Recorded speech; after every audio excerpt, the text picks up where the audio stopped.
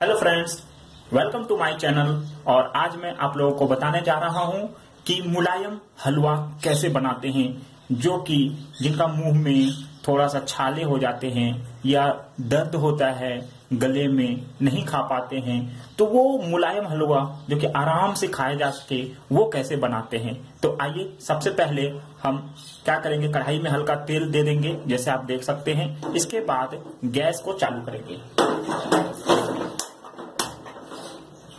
अब गैस चालू है। इसे थोड़ी देर गर्म होने दें। बहुत ज़्यादा तेल नहीं लेना है, हल्का तेल लेना है, ताकि नुकसान ना करे और कढ़ाई गर्म होने के बाद हम इसमें सूजी डालेंगे लगभग लगभग 80 से 90 ग्राम।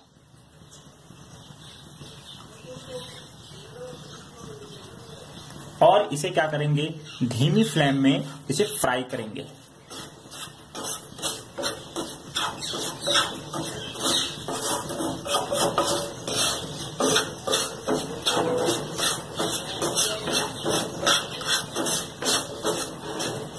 फ्राई होने में थोड़ा टाइम लगेगा। आप इसे धीरे धीरे हल्का हल्के हाथों से इसे चलाते रहें ताकि ये अच्छे से मिक्स होता रहे। आप देख सकते हैं कि ये धीरे धीरे इसमें कलर आ रहा है। मीन्स ये फ्राई हो रहा है। थोड़ा टाइम लगेगा इसमें और अच्छे से बनाने के लिए हमें अच्छे से फ्राई करना पड़ता है। नहीं तो ये कच्चा रह जाएगा और हमें पेट में नुकसान पहुँचा देगा। तो इसे अच्छे से फ्राई करना है। इसमें कुछ भी मिक्स नहीं करना है, बस इसे ही फ्राई करना है। आप देख सकते हैं कलर अच्छे से आ रहा है।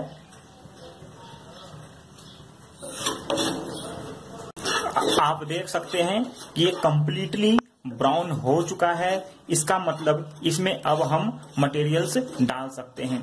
देखिए दोस्तों, मैं नॉर्मल और एकदम फ़ायदेमंद हलवा बनाने जा रहा हूँ और ये कोई भी बीमार व्यक्ति खा सकता है और काफ़ी ये मुलायम है। इसमें हम कुछ भी मिक्स नहीं करेंगे। आप देखिए, सबसे पहले हम जो मिक्स करेंगे, वो है, ये देखिए, ये है चीनी और छोटी इलायची का मिक्स करके हम क्या किए, इसको पीस लिए हैं। मीन्स जिससे आप रोटी बेलते हैं, उससे आप इसे महीन कर सकते हैं। मैं उसी से किया हूँ और इसे आप इसमें मिक्स कर दीजिए। और कुछ नहीं डालना है। इसे फिर अच्छे से मिक्स कर लीजिए। छोटी इलायची और चीनी का बुकनी। ठीक है? इसे थोड़ी देर मिक्स कर लेने के बाद आप इसमें क्या कीजिए? चीनी दीजिए। तो देखिए, चीनी अपने स्वाद के अनुसार आप डाल सकते हैं, लेकिन हलवा में कम चीनी होने से बिल्कुल भी स्वाद नहीं लगेगा खाने में। ठीक है? तो हम क्या करेंगे इसमें? अब चीनी डालेंगे। तो चीनी कितना डालना है? मैं लिया था लगभग लगभग 80 से 90 ग्राम। तो उसमें डालूँगा चार चम्मच चीनी। आपका अगर क्वांटिटी ज़्यादा हो तो ज़्यादा चीनी डाल सकते हैं। चीनी डालने से क्या होता है? मिठास आता है और हलवा मुलायम होता है। तो आप देख सकते हैं अब फिर मैं इसे चलाऊँगा। इसे थोड़ी देर चलाने के बाद बहुत सारे होंगे जो कि इसे फ्राई को ही खाना पसंद करते हैं। मैं भी बहुत बार खाया हूँ ये फ्राई को, आप भी खा सकते हैं। लेकिन इसमें चीनी थोड़ा मिक्स होने दें उसके बाद।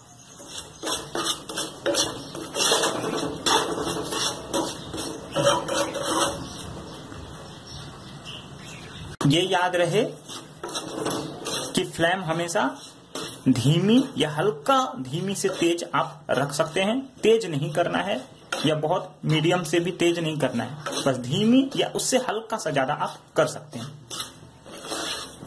क्योंकि गैस का अपना अपना फ्लेम होता है। बहुत सारे गैस, बहुत ज़्यादा गैस निकालते हैं एक बार में, या बहुत सारे ऐसे गैस होते हैं जो धीरे धीरे धीरे धीरे गैस निकलती है तो आप उसके अनुसार रख सकते हैं।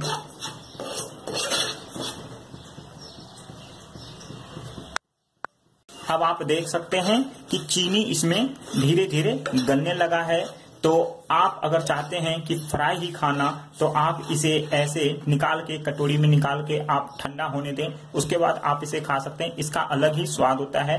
अगर आप मुलायम सा हलवा खाना चाहते हैं तो इसमें पानी हम देंगे। पानी देंगे लगभग लगभग 100 ग्राम में 300 ग्राम पानी मीन्स 300 मिलीलीटर।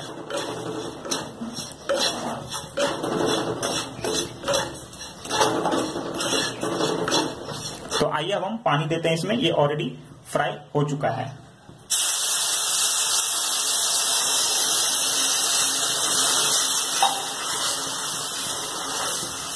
और इसे धीमी आँच में ही पकने दें।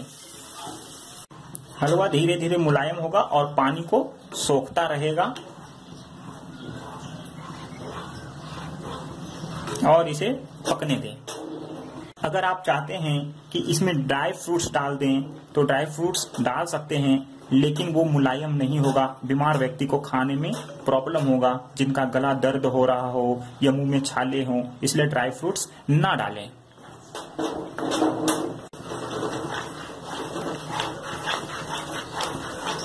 अब आप देख सकते हैं कि मुलायम हलवा बन चुका है।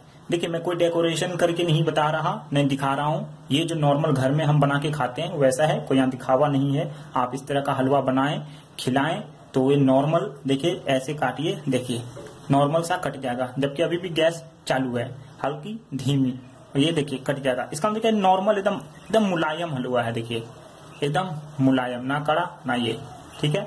तो आप ऐसे बनाइए। इसे कोई भी बीमार व्यक्ति खाएगा या आप भी नॉर्मल व्यक्ति भी इसे खा सकते हैं। इसमें कोई भी नुकसान नहीं है। ना ज़्यादा तेल है, ना ड्राई फ्रूट्स है, ना कहीं गला में अटकेगा, ना दर्द होगा। आराम से इसे खा सकते हैं। ओके फ्रेंड्स तो वीडियो पसंद आई हो तो लाइक करें। अपने रिलेटिव दोस्तों के साथ ज़रूर शेयर करें। Thank you